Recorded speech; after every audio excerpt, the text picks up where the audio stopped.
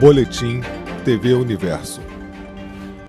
Olá, uma boa noite. Eu peço licença para entrar na sua casa e trago agora as principais informações da segunda edição do Boletim TV Universo. Polícia Militar prende quatro em Piratininga. Governo do Rio lança projeto de lei voltado para avanço na transição energética.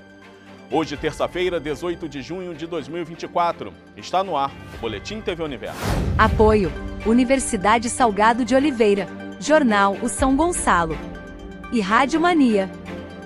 O governador Cláudio Castro encaminhou para a Assembleia Legislativa do Rio de Janeiro um projeto de lei que cria a política estadual de transição energética.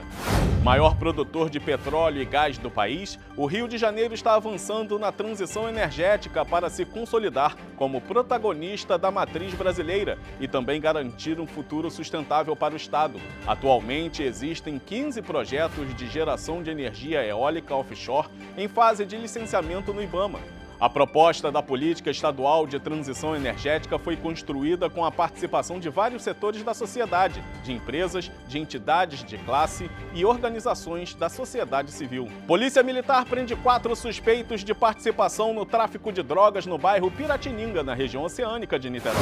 Com o quarteto foram encontrados uma pistola, munição, rádios de comunicação e drogas. O caso foi registrado na delegacia de Itaipu. Alunos de escola no bairro da Trindade, em São Gonçalo, receberam palestra sobre educação no trânsito. 250 alunos participaram da ação da Secretaria de Transporte.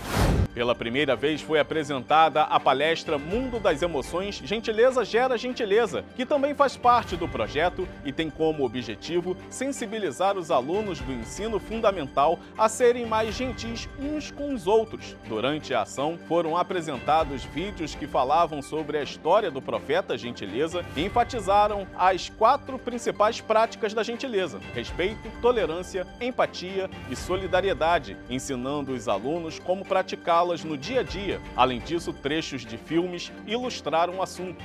Botafogo está de olho em Felipe Coutinho. O meio-campista, que está de saída do Aston Villa da Inglaterra, tem negociações avançadas para retornar ao Vasco, clube que o revelou, mas o Alvinegro observa a situação por gostar do jogador de 32 anos.